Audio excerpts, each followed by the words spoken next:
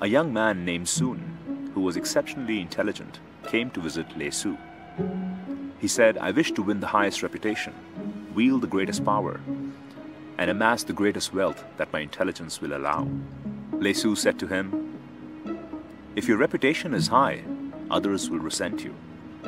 If your power is great, others will hate you. If your wealth is large, others will envy you. The young man asked, What must I do to avoid resentment, hatred, and envy? Lei Su replied, The higher your reputation, the humbler you must become.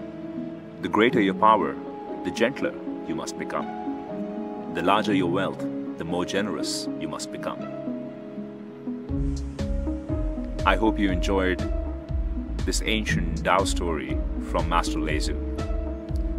This is Akshananda signing off from the Himalayas. Much love and light. Namaste.